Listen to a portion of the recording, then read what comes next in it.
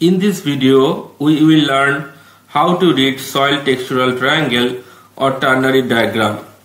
You can see the triangle at the right side of the screen. To read the diagram, we have to have the percentage of different sized soil particles that is sand, silt and clay particles of the soil. So in simple word, the different sized soil particles is soil texture and it is the basic permanent property of, of a soil as it is not readily subject to change. Diameter of individual soil particles ranges from 1 meter in case of boulder to less than 10 to the power minus 6 meter in case of submicroscopic clays. And there are several classification systems by International Society of Soil Science, United States Department of Agriculture, United States Roads and Administration. The classification system by United States Department of Agriculture is widely used. Gravels, cobbles, boulder and other coarse fragments greater than uh, 2 millimeter in diameter are not considered to be part of the fine earth fraction to which the soil texture uh, you know, properly applies. So according to the United States Department of Agriculture, so sand is from you know 0.05 millimeter in diameter to mm, 2.0 millimeter in diameter. Silt is between 0.002 millimeter to 0.05 millimeter in diameter and smaller than 0.0 point, uh, 0.002 is clay. So here you can see some general properties of these three major size uh, class of uh, inorganic soil particles. So here you can see that the range of particles the diameter in millimeter is for sand 2 to uh, 0.05 silt is 0.05 to 0.002 uh, millimeter and clay is smaller than 0.002 millimeter. And in uh, means of observation you can say that the sand we can see in, in naked eye uh, we have to use microscope for silt and electron microscope for clay. And attraction of mm, particles to each other is low in soil and high in clay. Attraction of uh, part particles of water is low in, in soil high in clay. So you can uh, see here.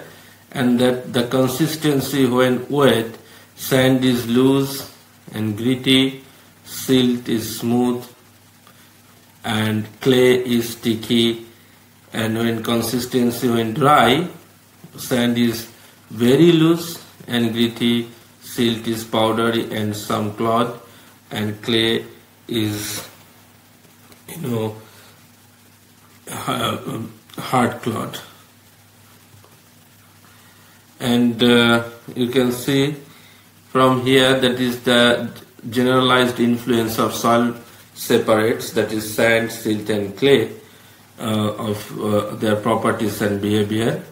So from in, uh, the if, in case of soil holding uh, water holding capacity low in, in sand, clay is high in clay, Erosion is good in sand but poor in clay. Uh, you can that can be easily understand. And the drainage rate uh, accordingly high in case of sand and very slow in case of clay.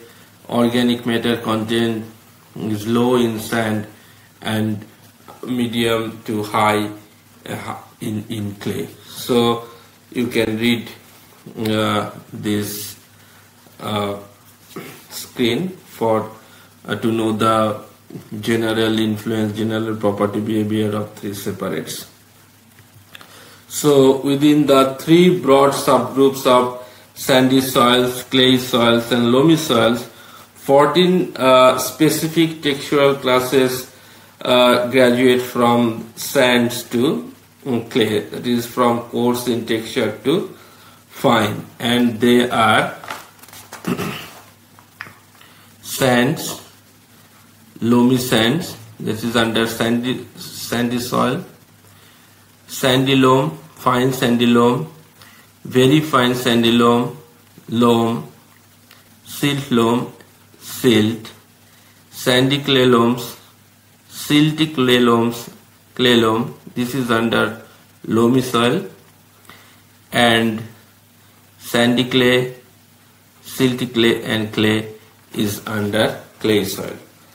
Mm, but this uh, fine sandy loam and very fine sandy loam are not included in triangular graph. So in, in triangular graph there are 12 textural classes. So uh, the relationship between the textural classes name and properties of sand, silt and clay is commonly no, uh, shown in the in uh, diagrammatically as triangular graph. So sand and sandy uh, loamy sands are dominated you know by the uh, by, is by the properties of sand so this sand and loamy sand because they comprises at least 70% of sand by weight and less than 15% uh, of clay materials.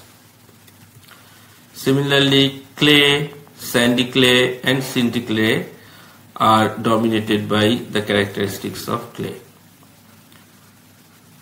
And uh, naturally the likewise silts are dominated by the properties of silt and most soils are some type of loam.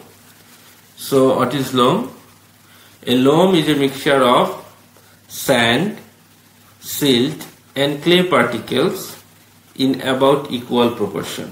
But this does not mean that they are present in equal amounts because if uh, that is why the loam class is not is uh, within in, in, within if that happens that the loam, uh, loam class will be at the center of the triangle. But it is not exactly the middle of the triangle.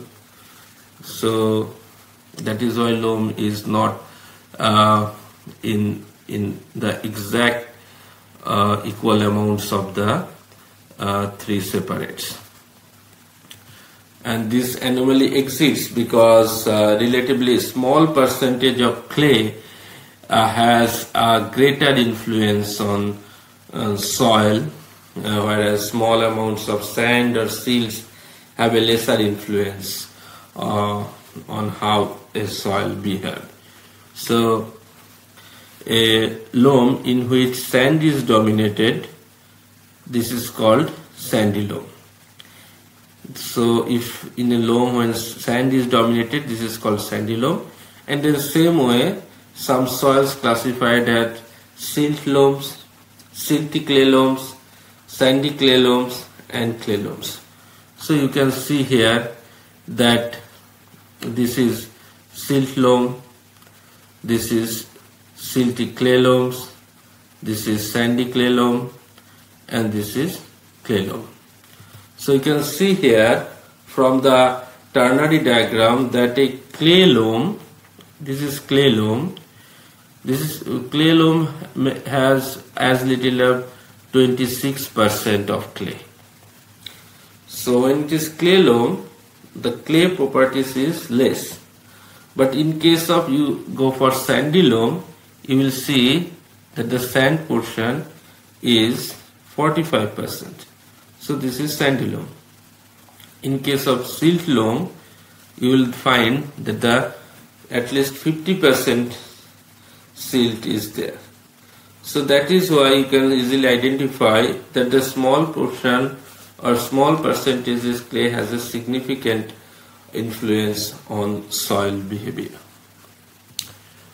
So now we're going to calculate, uh, identify the soil texture. So there is one example here exercise that if a soil contains 15% sand, 15% clay and 70% silt, then what is its uh, soil texture? So uh, if we, uh, this is clay, so your clay is 15%, so it is from, this is the point 15%. So we have to draw line from this point, it is 15 points and it goes parallel to the sand line.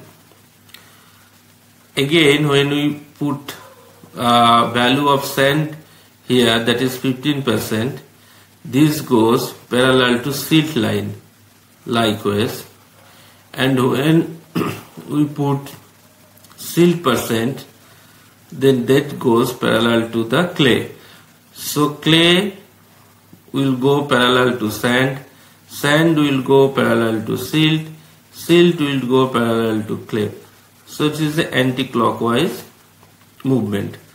So for clay it is 15% so you have to draw a line parallel to sand 15% for sand it is 15% so you have to draw a line parallel to silt. So this is uh, 15% and the silt is 70% so this is 70% of silt. Oh sorry this is 70% of silt. Silt so this goes parallel to you know your clay line clay side. So this is the points meet here. So the texture of this soil is silty low or silt low. So if we go for the second example here you can see here that the where wood a soil sample with 33% sand 34% silt and 33% clay intersect in textural triangle or ternary diagram. So in mm, where they intersect. So in case of take from the clay that is 33% clay so this line goes parallel to sand. So this 33% goes parallel to sand. And sand percentage is 33% so this is somewhere here. So this goes parallel to silt line. So 33% goes. And 34% is so this is 34% then this line goes parallel to the clay arm. So so they intersect at the clay loam portion. So by using this uh, uh, textual diagram or uh, textual triangle or ternary diagram, we can easily identify the soil texture if we know that the basic soil particles, the major soil particles percentage, sand, silt and clay. So thank you. Thank you for watching this video.